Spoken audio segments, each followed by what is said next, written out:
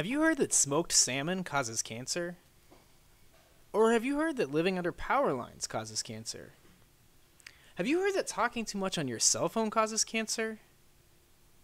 Maybe you've heard all of these things, but without rigorous study and analyses, these are just headlines.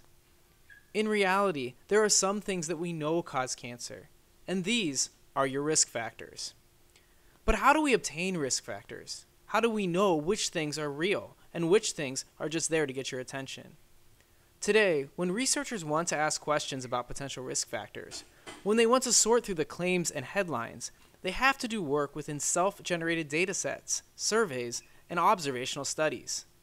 They often have to pursue the respondents to these studies themselves, and they can only ask a very limited number of questions. What does this do? It leaves us with large confounding factors that may skew the results. Further, because of this limitation, many undiscovered or less obvious risk factors remain hidden.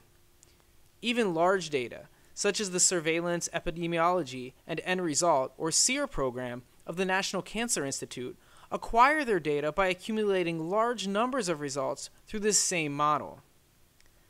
With a limited number of approved research studies able to access this data, we end up with another problem of access.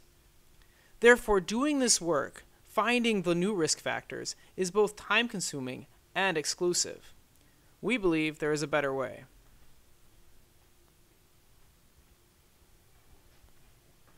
Social media has reached a critical mass. Facebook has more than 1.5 billion active users. Google Plus has 500 million active users. LinkedIn has 380 million users.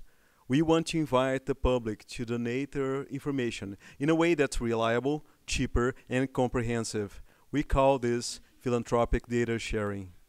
We are presenting a social web called My Risk Factor. We leverage the power of social media to drive people to share their historical data and demographics. In exchange, we'll be giving them bragging rights, risk factor, and screen alerts.